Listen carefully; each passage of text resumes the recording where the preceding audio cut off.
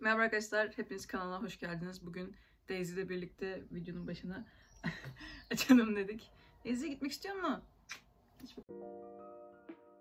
Eğer Booktube izliyorsanız böyle bir video formatını belki görmüşsünüzdür. Bir hafta boyunca şu tür okudum, şunları okudum şeklinde. Ben de bir hafta boyunca YouTuber kitapları okumaya karar verdim. Bu fikir nereden aklıma geldi bilmiyorum. Ama uzun bir zaman önce şu videoyu izlemiştim ve YouTuber kitaplarını merak etmeye başlamıştım. Ve açıkçası sandığımdan daha fazla bulurum sanmıştım ama sanırım Türkiye'de çok fazla yok. Ee, o yüzden bu hafta boyunca sadece YouTuber kitapları okuyacağım. Bakalım nasıl gidecek? Ee, cringe olacak mıyım? Yoksa hepsi gayet iyi mi olacak? Kitapların neler olduğunu şu an söylemeyeceğim. Video devam ettikçe göreceksiniz zaten. Eğer hazırsanız başlayalım. Birinci gün. Evet haftanın ilk kitabı Uras Berlinoğlu'ndan. Ben küçükken çok izliyordum bu adamı ama bu sıralar hiç videolarına bakmadım. Bunu da sahafta buldum. Böyle bu video fikri kafamda vardı ve daha hiçbir kitabı almamışken bunu bulmak bu video yapmaya beni itti açıkçası.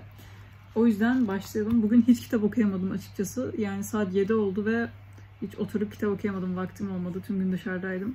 O yüzden böyle kolay bir kitabı başlamak iyi olacak gibi hissediyorum. Sizinle birlikte başlayalım. Arkadan garip sesler duyuyorsanız bu e, vantilatörün sesi. Evet. Şöyle. Anne ben YouTuber oldum. Ben böyle kitapları seviyorum ya. Kocaman kocaman yazılı. Hemen bitiyor. Evet. Kim bu? Uras Benlioğlu. Evet yazar burada kendisini anlatıyor. Buralara geçeceğim sizin için.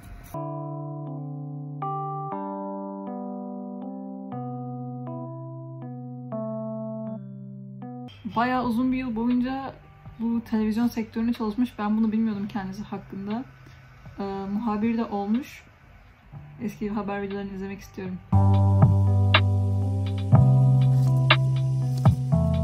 Şu an 64. sayfadayım ve o kadar gerçekçi anlatmış ki ben daha az ciddi daha az ciddi bir kitap bekliyordum ama gerçekten yaşadığı şeyleri birebir anlatmış ve kitabı direkt kendiniz bağlayabiliyorsunuz. Hem yazım dilinin kolaylığından hem çok samimi oluşundan ve beklediğimin üstünde kalitede bir kitap şu anlık. Şu ana kadar YouTube yükselişine daha gelemedim.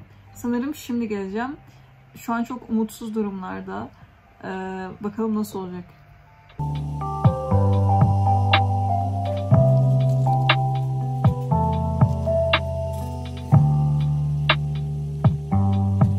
Kitapta tek bir eleştirim olacak. O da e, çok az noktalama işareti kullanıyor ve cümleler çok uzun oluyor. Burada YouTuber hakkında düşündüklerini yazmış ve Cem Korkmaz da var ve okuyunca gözlerim doldu.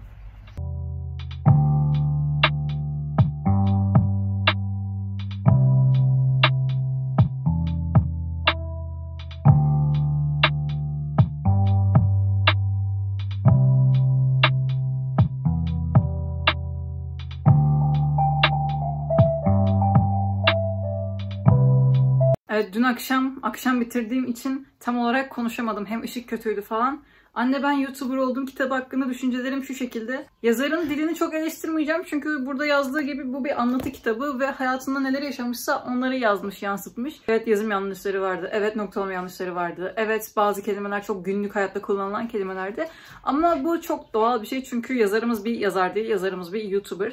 Ee, YouTuber olmak isteyen ve buna ön yargıda karşılaşan insanlar varsa onlara bu kitabı öneririm. Gerçi hala basılıyor mu bilmiyorum. Daha önce dediğim gibi ben bunu sahaftan buldum. Çok rastgele bir şekilde. O yüzden e, bulabilir misiniz bilmiyorum. Ama gayet güzeldi ve hani yaşadığı zorlukları bugüne gelme macerasını anlatmıştı ve ben asla bu şekilde zorluklar çektiğini bilmiyordum ve ona olan saygım arttı. Şu an videolarını izlemesem de ona saygı duyuyorum. Ve YouTube hakkında hiçbir şey bilmeyen insanlar için harika. Ama zaten bence benim kişisel görüşüm e, YouTube hakkında verdiği tüyolar internette bulabileceğiniz tüyoların aynısı. Yani çok da farklı bir şeyle karşılaşmam. Zaten çok temel şeyler var. Onlardan bahsetmiş. O şekilde okuması çok kolay ve zevkli bir kitaptı. Anne ben YouTuber oldum. Okumak isteyen ve YouTuber olmayı düşünen ve kitap okumak isteyen bunun hakkında herhangi birine önerirdim. İlk YouTuber kitabımı okumuş oldum ve şimdi de ikinci güne geçiyoruz. Herkese ikinci günden merhaba. Yine tamamen dışarıda olduğum bir gün oldu. Saat 7 ve yeni eve gelebildim ve kesinlikle hiçbir şekilde kitap okuyamadım. O yüzden bugün içinde yine kolay okunabilir bir kitabı seçeceğim. Ve o da ünlü İngiliz YouTuberlar Dan ve Phil. Ben Dan ve Phil'i açıkçası karantinada keşfettim ve onların videolarına bağımlı oldum ve tüm videolarını izledim ve hala çok takip edip çok sevdiğim iki YouTuber kendileri. Kitap çıkardıklarını biliyordum ama Türkiye'de bulabileceğimi hiç düşünmüyordum. Ve açıkçası birkaç tane buldum dolaptan ve en ucuz olanını aldım tabii ki de. Ve elimdeki kitapları bu. Bu şekilde çok çok çok eğlenceli bir kitap olacağı benziyor. Yeni bir kahve aldım. Şimdi sizinle önce onu deneyelim. Bakalım nasılmış. Hmm, gayet güzel. Biraz fazla şeker atmışım ama. Tony mi aldın değil sen, Tony mi aldın sen, Tony mi aldın? Ha. Evet arkadaşlar şu kitaba başlayalım. Bu tip ne ya? Bu tip ne? Bu tip ne? Bu tip ne? Bu tip ne? Bu tip ne? Bu tip ne? Bu tip ne? Bu tip ne? Oo, ben bu önümdeyken okuyamam ki. Çok tatlı bu çocuk. Oh. Tamam böyle başlıyoruz arkadaşlar. O kadar güzel ki. Arka ses geliyorsa vantilatörü çık.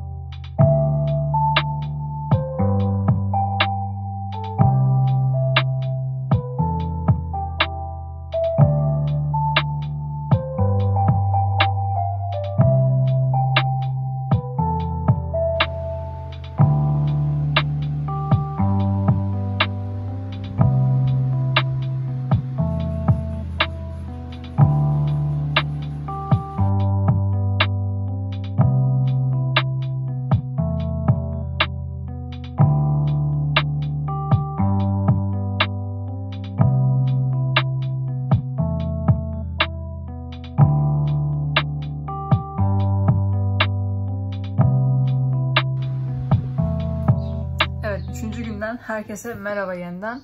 Ee, sonunda bu kitabı bitirdim ve okuduğum gerçekten en eğlenceli okuduğum en eğlenceli kitaplardan biriydi genel olarak tüm kitap okuma hayatım boyunca. Gerçek hayatlarını, gerçek düşünceleri görmek çok güzeldi. Yani kısaca tüm hayatları var burada. Yani aklınıza gelebilecek her şeyi görebilirsiniz. Benim en çok sevdiğim kısım sanırım kamera arkası kısmı oldu. Ve çok saçma şeyler de vardı mesela. Dan ve Phil birbirlerine fanfiction yazmış ve o kadar komikti ki bunları okumak. Gerçekten sürekli güldüm kitabı okurken ve çok eğlenceliydi. Eminim birkaç kısma şu an baksalar cringe olurlar.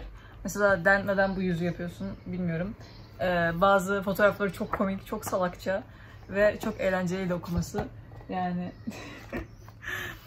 genel olarak 10 veriyorum çünkü çok eğlendim. Ee, herhangi bir Dan Phil fanına önerirdim ama onları tanımayan birisine önermezdim çünkü hani onları tanımıyorsanız bu kitap sizi ilgilendirmez diye düşünüyorum. Onları izlemiyorsanız en azından. Neden umurumda olsun dersiniz çoğu zaman bu kitabı okurken. Bu şekilde ikinci kitabımız da bitmiş oldu. Şimdi üçüncü kitaba geçiyoruz. Bu da Işıl Işık'ın Ona Kadar Say kitabı. Işıl Işık'ı tanımayan yok bence. Ben kız kardeşimle izliyorum. Kendisi şu an yanında ve çok şaşırdı kitabını almama. Ee, kitabın ne hakkında olduğunu bilmiyorum. Şöyle tahmin ediyorum. Herhalde hikayeler anlatacak. Paranormal bir şeyler ya da cinayetli minayetli hikayeler anlatacak. Ya da bir cinayet romanı olacak. Ee, bilmiyorum yani. Gerçek hikaye mi olacak? Kendisinin yazdığı bir roman mı? Hiçbir fikrim yok. Ee, kitabın adı da Ona Kadar Say Saklambaç.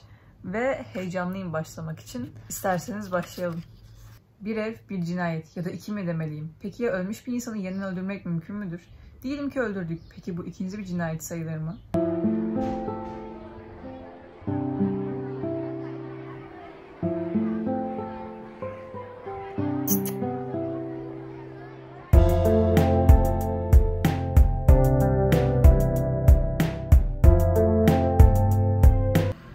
Dördüncü günün sonundayım ve ona kadar sayın 15. bölümüne geldim ve 66. sayfa.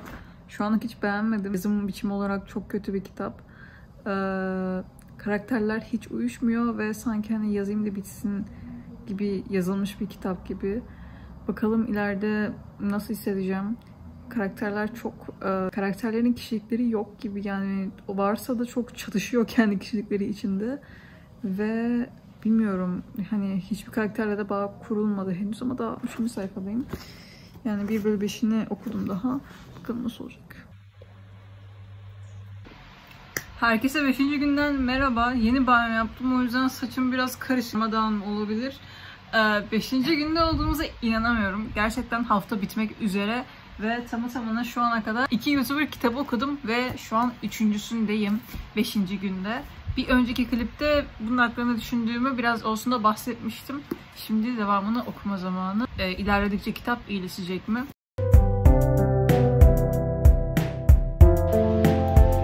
Yani kitap boyunca bana mantıksız gelen şey bir gazetecinin bu kadar zengin olması kendi kazandığı parasıyla. Ve şimdi de Türkiye'deki bir kafeye 50 euroluk bahşiş bıraktı. Yani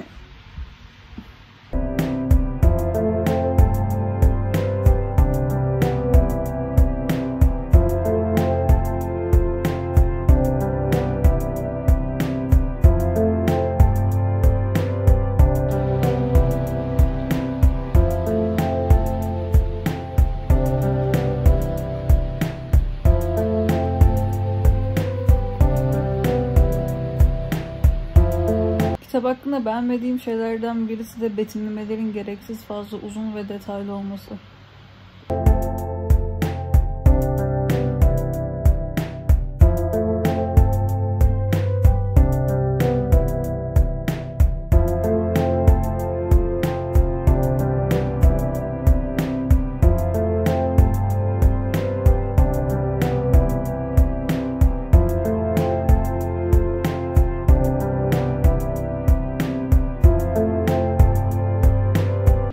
Güya e, çok olgun, çok aklı başında. İşte bir muhabir tüm ölümleri görmüş. Çok olgun, çok başarılı bir kadın. Beliz'in ölümüne geliyor.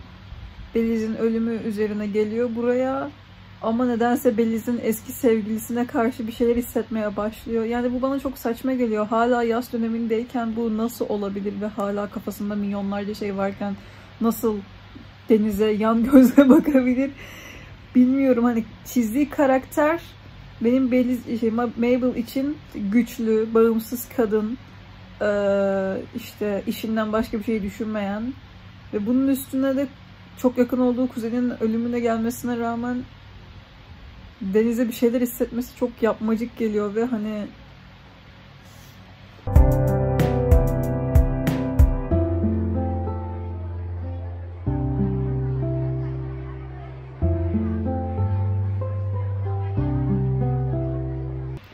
birçok ülkede yaşamış, birçok vakaya bakan bu olgun kadınımız nedense Deniz'i görünce 17 yaşında bir e, ergen kız gibi davranmaya başladı ve hani kitabın ilk sayfalarında gördüğüm kadınla bu kadın aynı olamaz. Yani yazarın sözcük seçimleri mi kötü yoksa karakteri mi tam yazamamış bilmiyorum ama gerçekten çok sinir olmaya başladım. Hani gerçekten genç kız gibi yazıyor şu an ve hani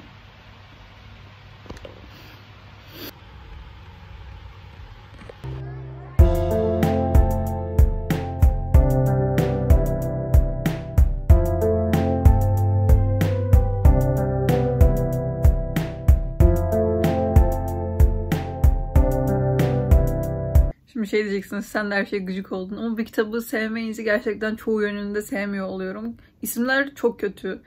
Tamam Mabel hani Mabel mı Mabel diye mi okunuyor onu bile bilmiyorum. Ee, Beliz, Menan, Badem ya Doğa Çimen kaldı bir yani. Evet ana karakterimizde sevecek en ufak bir yan bile yok. İllegal işe giriyor ölmüş kuzeninin cenazesine gittiği yerde bir adama aşık oluyor. Polise verdiği delilden bazı şeyleri kendisine saklıyor. İnsanları kendinden küçük görüyor işlerini yapmalarına rağmen ve sonra kendini suçlu hissediyor. Keşke bir tane güzel özelliği olsa bu kadın. Deniz'i öptü. Gerçekten bu kitaba katlanamıyorum arkadaşlar. Yarısına geldim ve e, artık bitsin ya. Bu arada daha önce bahsettim ama mesela şu an kitap 36. bölümde ve 163. sayfada. Yani bunun kadar saçma bir şey görmedim uzun zamandır.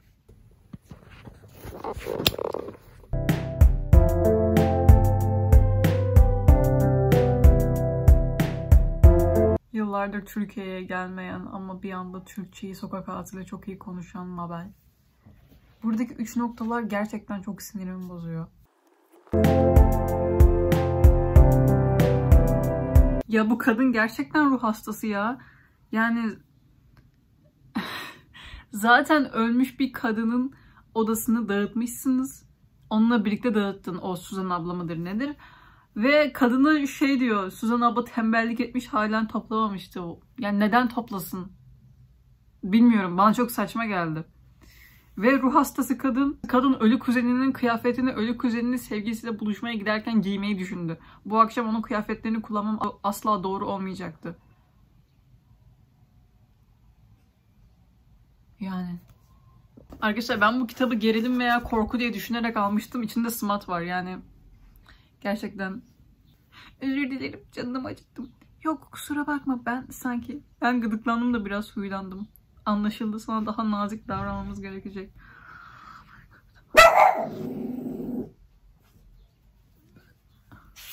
Tamamen ona ait olmaya. Arkadaşlar 40. bölüme geldim. 100, 182. sayfada. Gerçekten çıldıracağım ya. Bu kitabın puanı 8 ya da 7 gibi bir şeydi bin kitapta.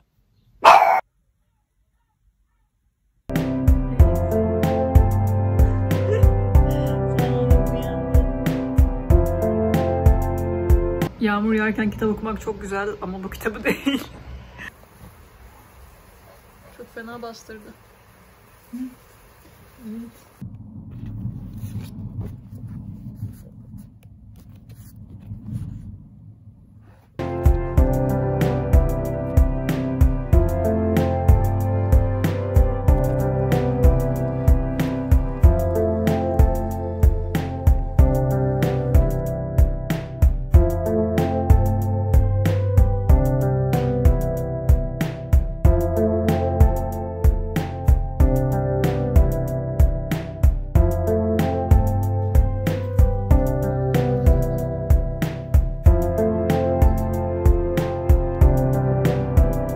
Çok şaşırmadığım bir plot twist oldu ama gerçekten uf, karakterlerin davranışları bana aşırı cringe geliyor.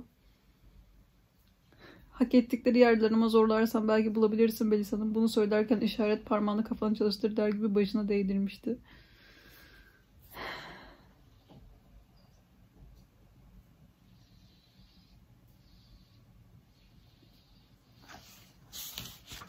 Arkadaşlar sizin için yaptıklarım.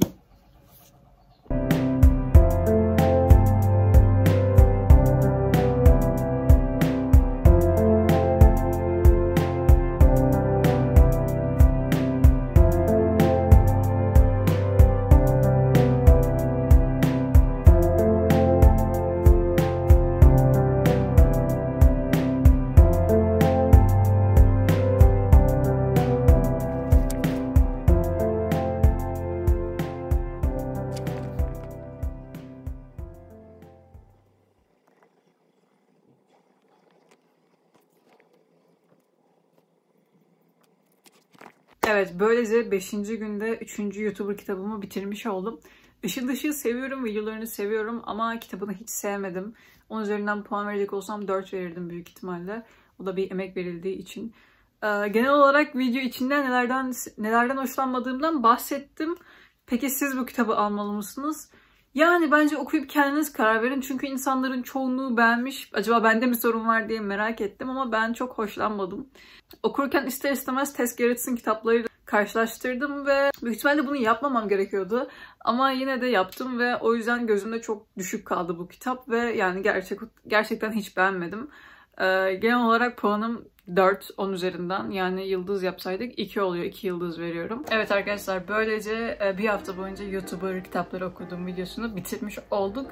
Ee, hafta sonu hiç okuyasım gelmedi kitap o yüzden elimde olan diğer YouTuber kitaplarını okumadım. Umarım video hoşunuza gitmiştir ve umarım sıkılmamışsınızdır. Bayağıdır bu kadar uzun bir video çekmemiştim. Hatta çektiğim en uzun videolardan birisi olabilir. Video hakkında ne düşündüğünüzü lütfen yorumlara bırakın. Abone olmayı unutmayın ve videoyu beğeneceğini düşündüğünüz bir arkadaşınızla da paylaşabilirsiniz. Bir sonraki cumartesi günü görüşmek üzere. Kendine iyi bak. Bay bay.